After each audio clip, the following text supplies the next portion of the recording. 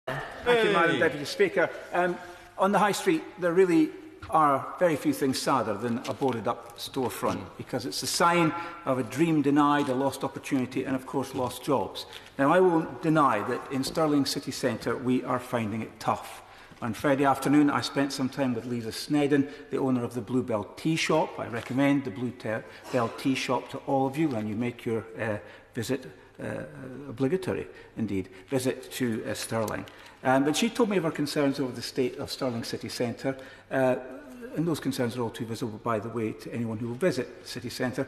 The pressures on businesses in the city centre um, perhaps compounded by the temporary closure of the Kersh Road Bridge uh, crossing, which is the bridge is being replaced as part of the uh, electrification of the railway. Um, but it is undoubtedly much quieter in the city centre of late, with a discernible fall in uh, footfall. Uh, King Street in Stirling is particularly a sad sight. Now, this is the street that leads up to the castle. Now, Stirling Castle is one of the most popular tourist attractions in the entire country, and it really should be a lively thoroughfare. But since the loss of Macari's department store, which, by the way, had been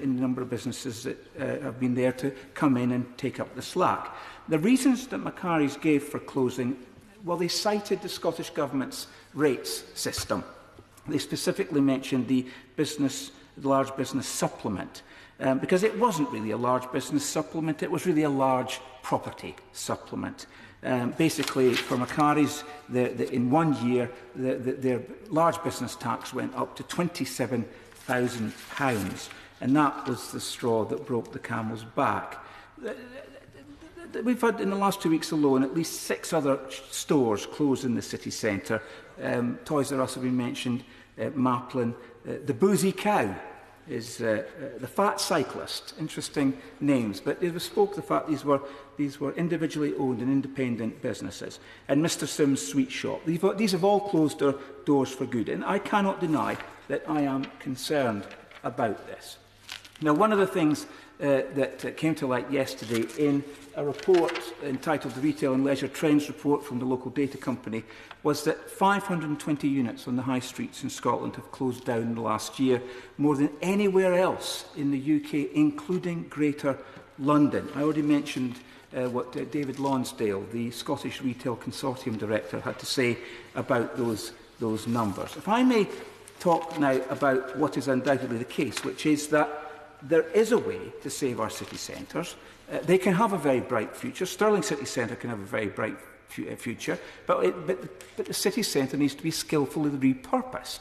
And, and frankly, I will work with anyone who will help bring Stirling City Centre back to its former glory. The fact of the matter is, the landscape is changing.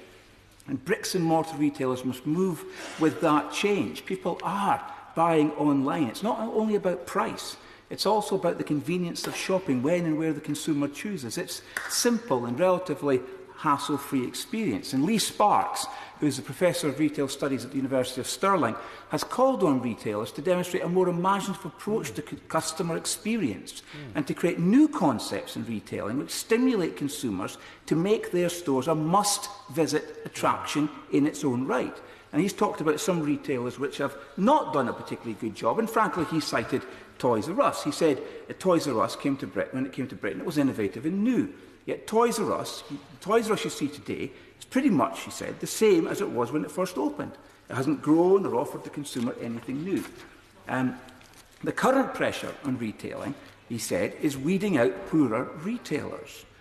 We will be undoubtedly left with a smaller retail landscape if it is smaller and becomes concentrated, so it provides people space, eh, it provides space that people want to use, then it will be a better landscape. And I concur with what he says. It's my view that we need to see our city centres differently.